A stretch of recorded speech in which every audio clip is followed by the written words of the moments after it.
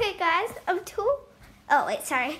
Um, okay, guys, I'm too excited. So I'm gonna.